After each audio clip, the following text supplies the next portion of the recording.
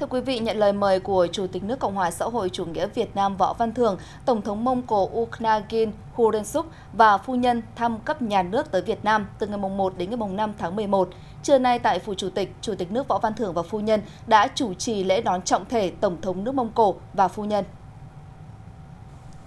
Việt Nam và Mông Cổ có quan hệ hữu nghị truyền thống, thường xuyên giúp đỡ và ủng hộ lẫn nhau. Từ năm 1992, mặc dù đã chuyển sang chế độ đa nguyên đa đảng, nhưng Mông Cổ vẫn coi Việt Nam là đối tác quan trọng ở khu vực Đông Nam Á.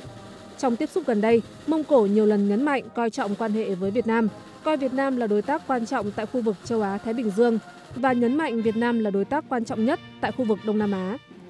Hai bên đã ký bản ghi nhớ về hợp tác kinh tế và thương mại năm 2021, bản ghi nhớ về hợp tác văn hóa tháng 5 năm 2022, bản ghi nhớ về hợp tác trong lĩnh vực quản lý xuất nhập cảnh và bản ghi nhớ về hợp tác trong lĩnh vực nông nghiệp năm 2022.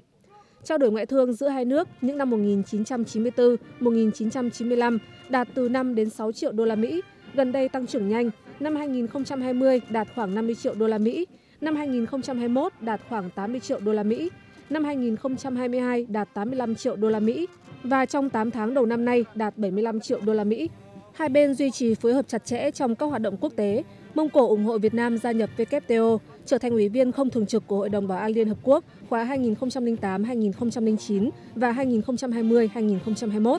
ủng hộ ứng cử viên Việt Nam vào Ủy ban danh giới thềm lục địa nhiệm kỳ 2023-2028.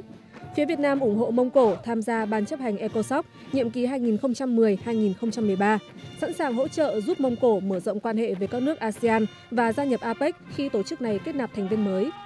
Ngay sau lễ đón chính thức, Chủ tịch nước Võ Văn Thưởng và Tổng thống Mông Cổ Ukhnagin Khuresuk đã tiến hành hội đàm, chứng kiến lễ ký các văn bản hợp tác và gặp mặt các cơ quan báo chí.